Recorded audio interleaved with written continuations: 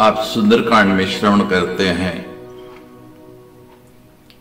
कि कैसे रावण के पुत्र ने हनुमान जी के ऊपर ब्रह्मास्त्र का प्रयोग किया। लेकिन एक कथा और मिलती है, जिसमें नारद के कारण हनुमान जी के इष्ट हनुमान जी के आराध्य। भगवान श्री राम ने भी नारद जी के ऊपर ब्रह्मास्त्र का प्रयोग किया। संकट मोचन हनुमान जी जैसा भक्त ना तो कभी हुआ है और ना आगे होगा। कई ऐसे प्रसंग मिलते हैं जो बड़े विचित्र हैं। वैसे तो हम सभी पढ़ते हैं कि किशकिंधा कांड में भगवान से मिलन होने तक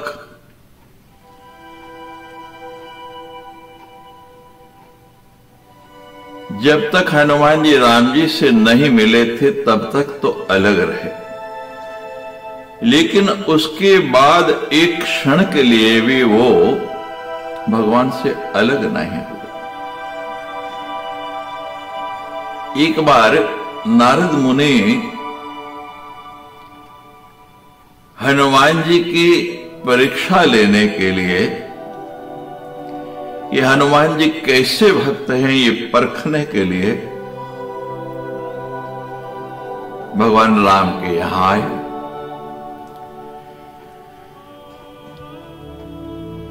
भगवान राम ने रात्रि भोज का आयोजन किया। जिसने महर्षि विश्वामित्र भी पधारे हुए थे। नारद जी ने हनुमान जी को फुसला दिया, भ्रम में डाल दिया कि महर्षि विश्वामित्र जो है, वो जागा स्वागत सत्कार।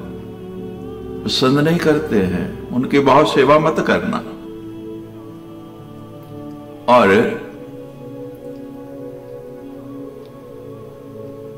नारद जी ने तो जो कहा, हनुमान जी ने स्वीकार करके और दूर दूर रहने लगे कि कहीं विश्वामित्र क्रोधित नहीं हो जाए। और उधर नारद ने जाके विश्वामित्र जी से कह दिया कि देखो, हनुमान को कितना अभिमान हो गया है। आप संत आए हैं और हनुमान जी को संत शिरोमणि कहा जाता है, लेकिन वो आपका बिल्कुल भी ध्यान नहीं कर रहे, आपके और बिल्कुल भी नहीं देख रहे। विश्वामित्र उनकी बातों पर आ गए और भगवान राम से कहा कि देखो, ये तुम्हारा भक्त कैसा है? एक बार भी मेरे सामने नहीं आया।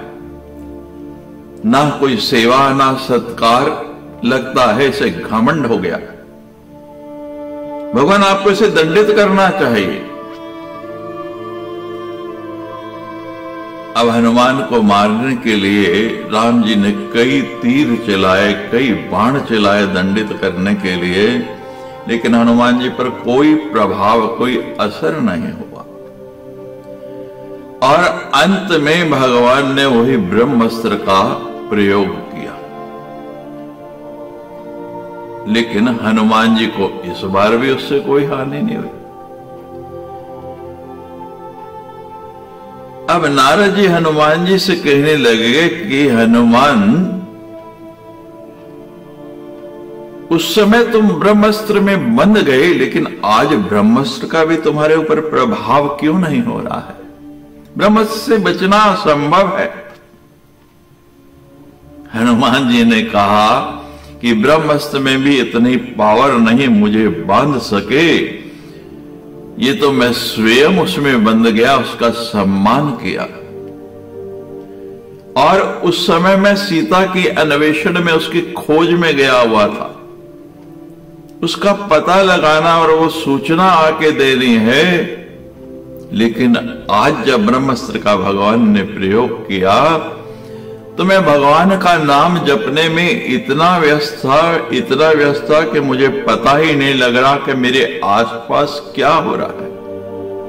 और अगर पता लगता तो मैं उसमें बंध जाता ना। ब्रह्मास्त्र में ना उस समय इतना बल था, ना इस समय उतनी शक्ति थी कि वो मुझे बाँध सकता, लेकिन उस समय मैं स्वयं बंध गया। और आज भगवान का नाम जपने में इतनी व्यस्तता, इतनी तन्मयता थी कि मुझे इसका आभास ही नहीं हुआ।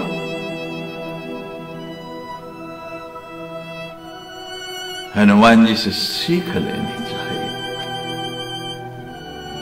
भगवान नाम में उसके सुमिरन में इतनी तन्मयता हो जाए, हम इतने रत्य हो जाएँ कि हमारे आसपास क्या घट रहा है, हमें उसका भी भान नहीं रहे। नारद जी को अपने भूल का एहसास हुआ और अपनी इस गलती के लिए उन्होंने हनुमान जी से क्षमा मांगी।